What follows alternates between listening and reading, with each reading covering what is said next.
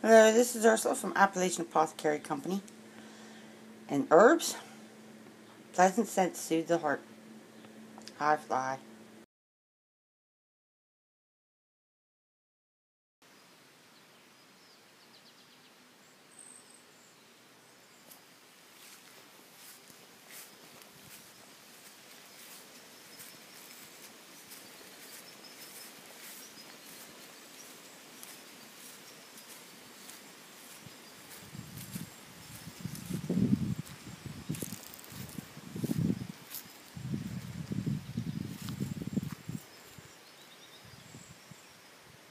Chocolate mint.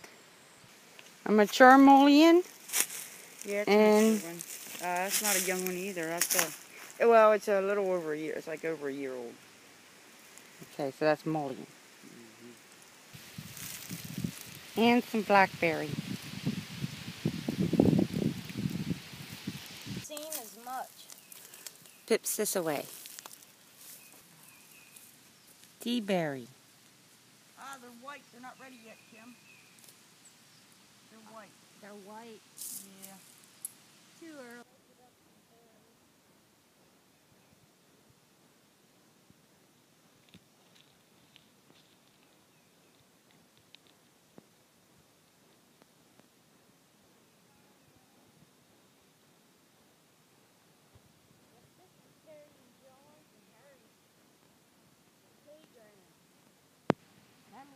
I'm starting to get myself interested in other projects as well, maybe essential oil projects. So, Ken told me this was a white pine. Raspberry. A locust, and you can tell by the thorns on it whether it's a white locust or a black locust. Don't know.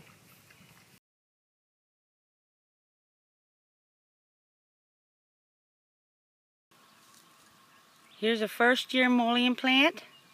As, and as I was on my way over here, came across this flower. I don't know what it is, but it is such a pleasant odor. I'm thinking to get some for some soap. Once again, the field where all the mullein is at. And you said that you think that that's wild yarrow? Let me see if I could get a little close-up vid. Okay. A very pleasant scent, very fragrant. Um, I tried to smell the leaves a little bit. They seem like they're okay too. That's the frack. Hanging over there. He's clipping some more raspberry leaves. And he says, look for the boxing gloves.